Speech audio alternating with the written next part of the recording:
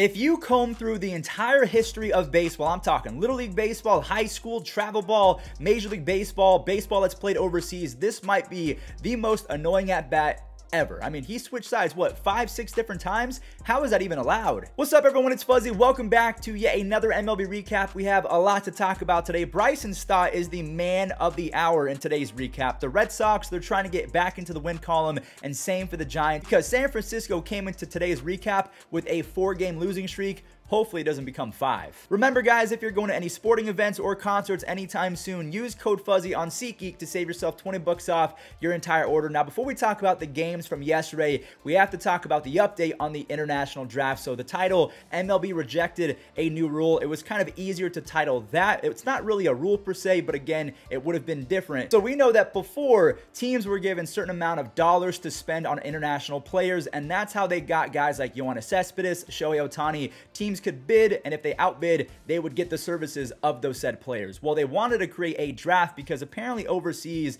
it is strife with a lot of corruption. So agencies and agents are signing kids at 12, 13 years old and pretty much giving them pennies on the dollar, but those kids need that money so they can give it to their family. So that is the pro that these kids really need the money. They're getting it from these agents, but in return, they're kind of getting hosed in the long run. So the draft was trying to fix that, but the Players Association and Major League Baseball, they couldn't come to an agreement. So it is going to stay status quo. There will not be an international draft. And one more thing to note about that the qualifying offer was attached to the international draft. So if the international draft was accepted, the qualifying offer would disappear. If you have no idea what the qualifying offer is, let's go back to 2013. The Yankees gave Nick Swisher a qualifying offer and he rejected that. So the Yankees are going to be able to get a draft pick from any team that Nick Swisher goes to. He went to Cleveland. They picked up Aaron Judge with Cleveland's pick. So because the draft was rejected, the qualifying offer and draft compensation, they're staying. Also, one more note I do want to make about the international draft. Top prospect of the Guardians, George Valera, said that, hey, we don't want to draft because we don't have something like college to fall back on. So if we're not drafted, our career is pretty much done. So if you can sign for really cheap, even at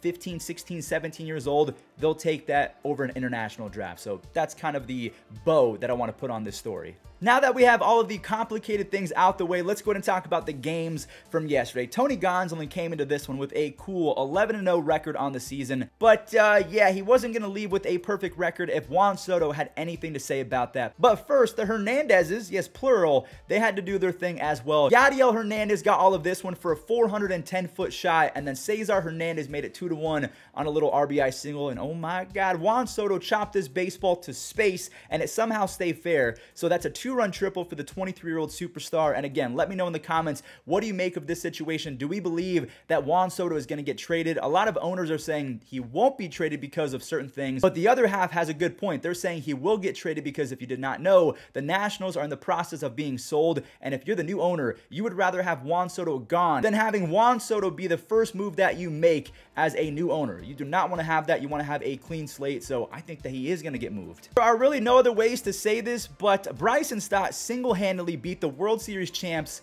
the Atlanta Braves. He got helped out a little bit by the baseball gods. He was gifted a free two-run double after this ball took a weird hop. Matt Olson is pretty good at first base, so definitely was not his fault in my opinion. Then, when the team needed him most, he clutched up. Bryson Stott with the tater tot. That lefty-lefty three-run bomb was the closest thing to a walk-off without it actually being a walk-off. And Seranthony Dominguez pitched a perfect ninth inning. So the season series between the Braves and the Phillies is now tied at four games apiece. The Braves have four wins. The Phillies have four wins. Do we think that the Phillies have enough to make a playoff push? Let me know. So we had a couple spankings yesterday, and one of them was actually pretty surprising because the Tigers, yes, the all-time bad 2022 Tigers offense embarrassed the San Diego Padres of all teams. That's because Eric Haase deleted this baseball for a grand slam. He's hitting 320 with a 180 OPS plus over his last, let's just call it 20 games. The Candyman wanted in on the long ball action as well as Jeimer pelted his eighth home run but I don't think he likes the number 8 because he instantly ripped another two-run home run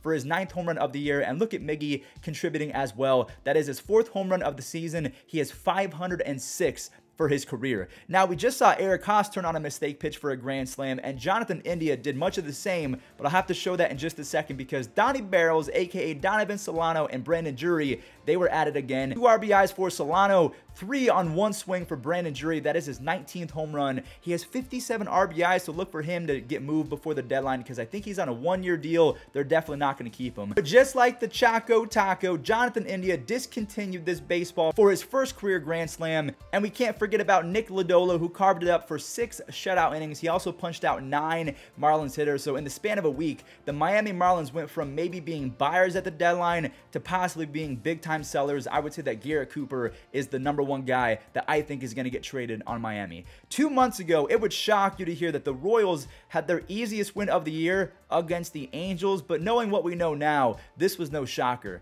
Zack Greinke turned in his best start of the year, throwing five scoreless innings with five strikeouts. Thor tried his best to keep the team within it, but Michael Taylor's RBI single in the sixth kind of broke the seal, and the Halos threw it all away on a bases loaded walk, some poor defense, and another RBI base hit from Michael Taylor. Also, almost forgot to show you this MJ Melendez bomb. He is a bad man. That is his 10th home run of the year. The Royals have quietly won three in a row. Another 7-0 game, only this one was an NL matchup. You have the Giants in Arizona, so you're thinking maybe the Giants can snap their streak. Yeah, nope. The younglings, Perdomo and Thomas, they slice a few baseballs to make it 2 to nothing. And Carson Kelly, along with Josh Rojas, they blow it open even more. I'm hoping that we can see 2021 and 2019 Carson Kelly here soon because that dude is an on-base machine. The Diamondbacks only needed one run though because Merrill Kelly was out of his mind. Eight scoreless versus a very solid team in the Giants. He didn't walk anyone and he struck out seven. He has a 3.04 ERA. And I just want to mention Christian Walker singled home two. Look for him to maybe get traded. He has 22 home runs and a 112 OPS plus. Now, not the most exciting game from the Orioles as they didn't hit a single home run, but you know what? A win is a win. Okay, maybe I lied a little bit because that two-run single from Mountcastle was actually pretty fun,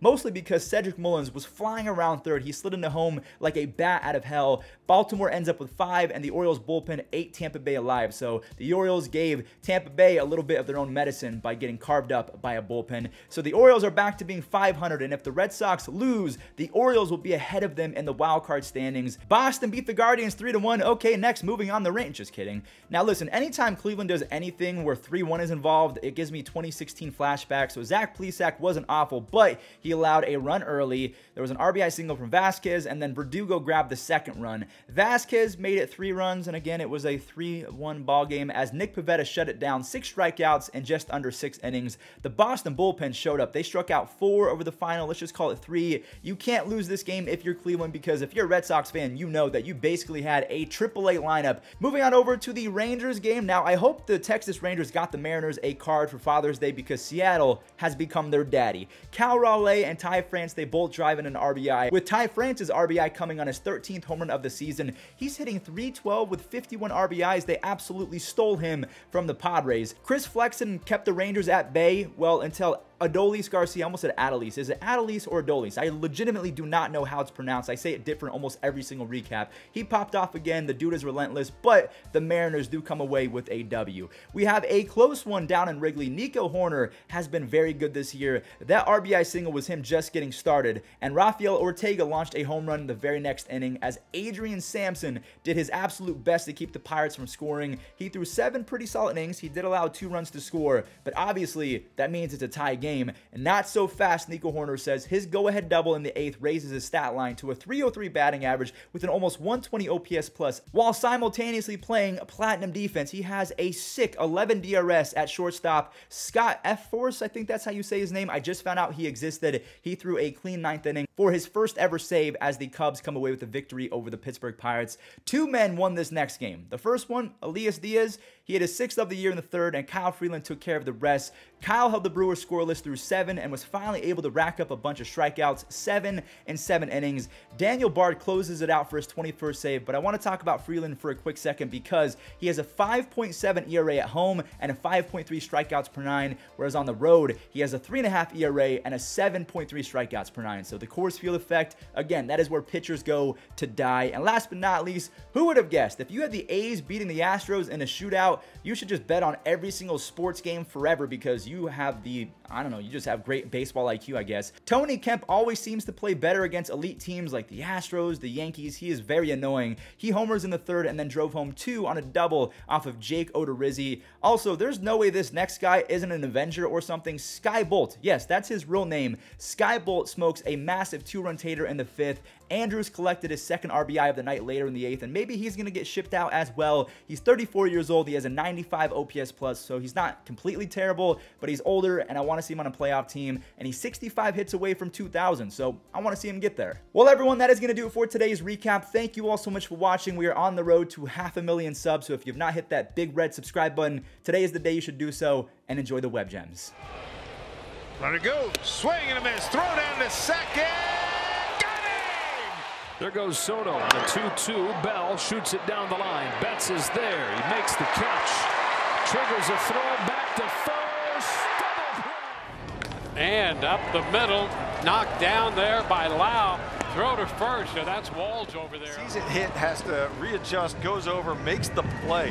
You see him stop, first of all, and then make it accurate. Count. Little squibber, Fried racing gloves, flips to Olson at the bag, and that'll end the inning.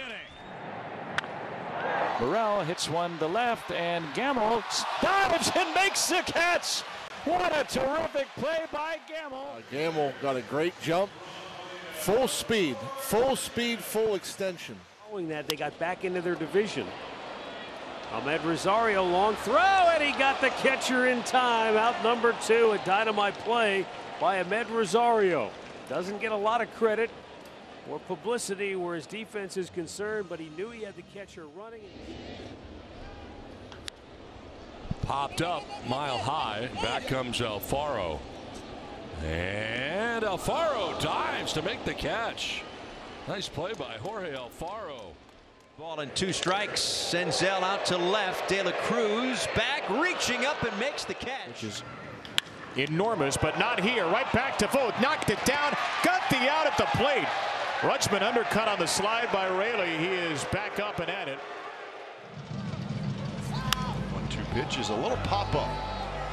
Pinder over the shoulder, and he caught it.